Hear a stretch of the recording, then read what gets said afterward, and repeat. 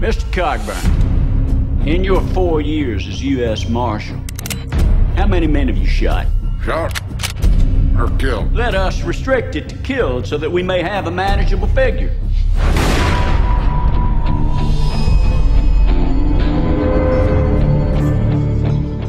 Mr. Cogburn, What do you want, girl?